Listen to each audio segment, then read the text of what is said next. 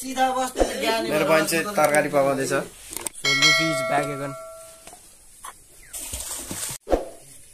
गाई चाहिँ होइन ऊ यो यो घाँस हल्का बोक्छ सो गाई यो चाहिँ हाम्रो बारी हो होइन। यहाँनिर चाहिँ बाँदर आइदिइरहेको कि? ऊ त्यहाँ माथि छ बाँदर चाहिँ।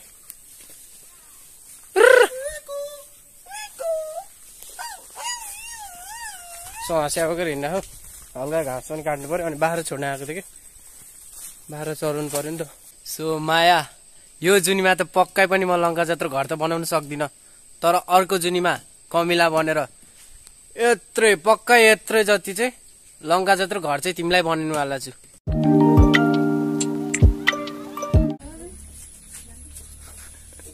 खोला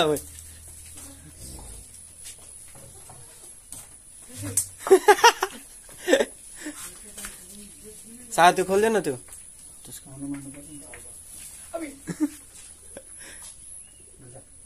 चाँडो खोल्न बे।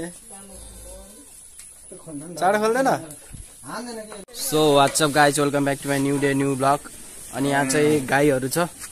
Welcome Luffy I am the Luffy सासी बुढी दाना। ओके अनि यहाँनिर चाहिँ गाईहरू छ। अब यो गाईलाई चाहिँ हामीले खोलासम्म पुऱ्याइदिनु हुनुपर्छ। खोल खोलासम्म पुऱ्याइदिनु पर्छ। अनि यहाँ सागर भाइ छ। हेलो नि भन्दैन यार। Hello hello. अनि यतापट्टि चाहिँ बहिनी। हेलो यो लुफी लुफीले छेक्दियो कि? अनि उता बुवा हुनुहुन्छ। अनि उता हजुर बुवा हुनुहुन्छ। हजुरआमा नि हुनुहुन्छ? उता। सो हामीले चाहिँ यो गाईलाई पुऱ्याइदिनु पर्छ। मलाई डर लागिरहेको छ हल्का। सिङ पनि छ क्या एक दुईजना। ओ! तेरो अर्को जन्म नि यस्तै हुन्छ। तिम्रो चाहिँ हुन्न। तिमी त लक्ष्मी भयो अहिले चाहिँ यो गाईहरूले कुडो कि के खाँदैछ होइन? त्यसपछिबाट म प्रश्न अनि सागर अनि ईश्वर चाहिँ कतै सुत्न गयो होला अनि हामी चाहिँ जानेवाला छौँ। सो बादलहरू पनि राम्रो लागिरहेको छ। यता आँपको बोट छ ठुलो अनि उतापट्टि बाजेहरू बनाइरहनु भएको। सो उता खोल्सा छ अनि यो माथि जङ्गल हो भरिपूर्ण। केराहरूले भरेको छ आँप छ अनि गोबाहरू छ अनि यहाँ खतरा रोड छ। काठमाडौँको भन्दा बबाल रोड छ। सो हामीले चाहिँ अब यिनलाई पुऱ्याइदिनु पर्ने हुन्छ। प्रश्न चाहिँ डराइरहेको छ हान्छ कि छैन।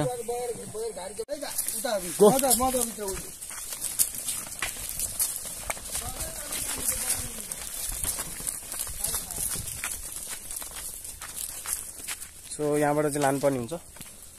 अरूहरू पनि अहिले पछि आउँछ होला। So we three are going so literally guys लुफीको यो चाहिँ मैले लिएर आएर लुफीको त होइन तै पनि यो मेरो लागि चाहिँ लुफीको हो। सो गाई चाहिँ पुग्न आँटिसकेको छ अब यहाँ खोला आउँछ एकछिनपछि। त्यसपछिबाट पछाडि अहिले खतरा रोड भएको छ। बाइकहरू गाडीहरू खतरा चल्ने छ। अनि यता स्कुल छ। स्कुल छ यतापट्टि यो चाहिँ स्कुल हो होइन। पहिला म नि पढ्थेँ। अहिले चाहिँ राम्रोसँग बनाएको रहेछ। पहिला सुरु यहाँनिर चाहिँ यता यतापट्टि हुन्छ नि। यतापट्टि चाहिँ म थिएँ। अनि सो म र मेरो साथीहरू केटी साथीहरू पनि थियो। अनि यो चाहिँ वेल्ली वेलकम टु घन्टे स्कुल भन्ने रहेछ। अनि ओली सफा नि छ अहिले रोड पनि खतरा बनेको छ। उतातिर चाहिँ गढी छ पहिला पहिला जान्थेँ। अनि पहिला पहिला त्यतै बस्थेँ कि? सो अहिले चाहिँ बस्दैन लिटरली अनि अगाडि गइसकेको छन्। यता चाहिँ खोल्जा छ। सो खोल्जामा पहिला पहिला माछा मारिन्थ्यो। तर अहिले चाहिँ सकिन्न माछा मार्न। यही हो स्कुल।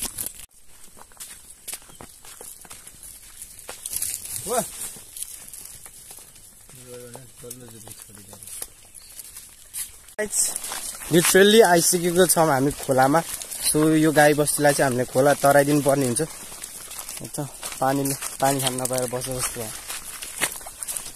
सानै छ तर बर्खा बेला चाहिँ खतरा ठुलो हुन्छ सो यसलाई चाहिँ हामीले उता पठाइदिनु पर्ने हुन्छ रु।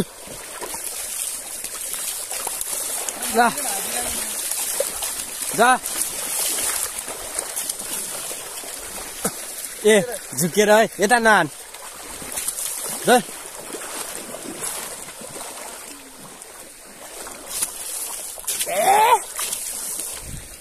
अब चाहिँ हाम-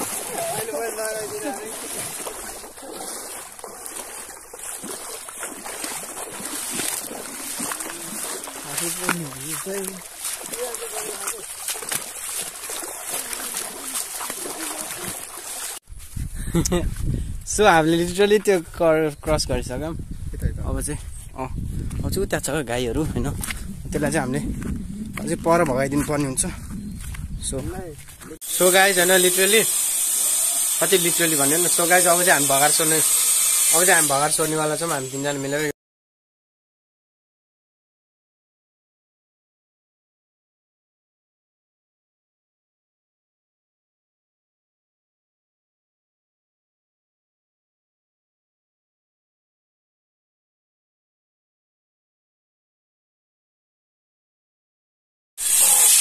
दाइ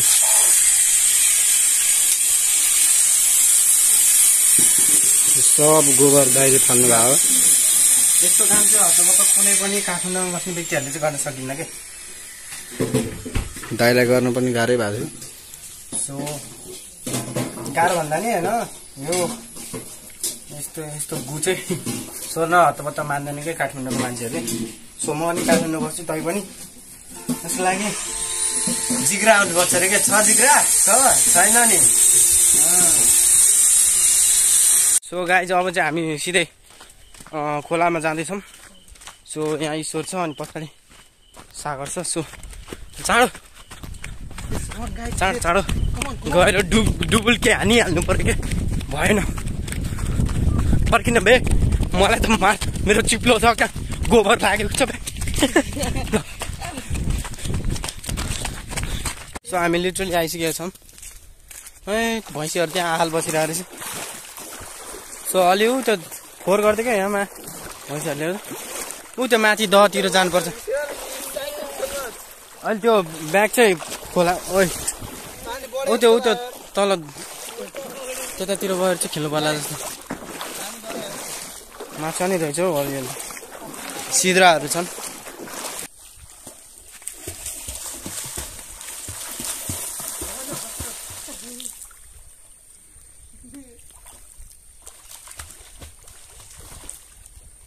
दाइ उडी उडी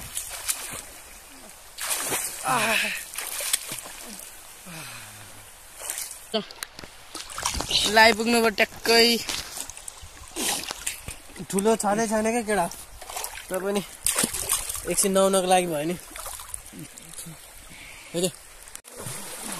सो गाईहरू त्यस्तो बबाल चाहिँ छैन। यत्तिकै त्यो गोबर सरेको थियो नि त अनि त्यही कारणले गर्दाखेरि हल्का नुहाइदिउँ न यसो भनेर आइदिएको। त्यही पनि त्यस्तो बबाल चाहिँ छैन योभन्दा यो चाहिँ यो यो चाहिँ तम्मर भन्छ यसलाई चाहिँ। अनि त्यसो उतापट्टि चाहिँ बाघ चाहिँ बाघ चाहिँ जान सकिन्न किनकि भूत प्रेत लाग्छ भन्छ। अनि त्यसैले गर्दा मैले दुई दुइटा माछा चाहिँ मारिदिएँ एउटा गङ्गाटा अनि एउटा चाहिँ ढुङ्गाले हानेर मारिदिइरहेन कस्तो चिज मैले मैले के? यो चाहिँ यो चाहिँ गङ्गाटा हान्दो रहेछ यस्तोलाई। गङ्गाटा हल्का। अनि यो चाहिँ यसलाई चाहिँ हिले माछा भन्छ कि? हो यति चाहिँ मारिदिइरहेन झिक्केर।